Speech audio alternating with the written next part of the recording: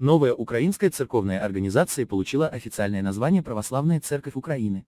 Об этом говорится в ее уставе, сообщил ее представитель архиепископ Евстратий в субботу, 15 декабря. В уставе, который сегодня был принят, написано название Православная Церковь Украины, но вместе с тем правомерно будет называть ее Украинской Православной Церковью. Цитирует его ТАСС, Евстратий добавил, что точная формулировка будет прописана в ближайшее время.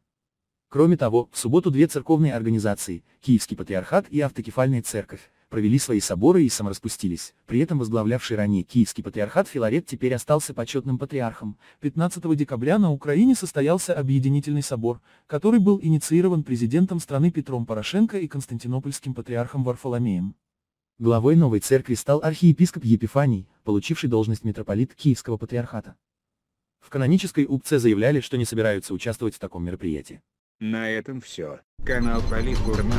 Пишите ваши комментарии под этим роликом. До свидания.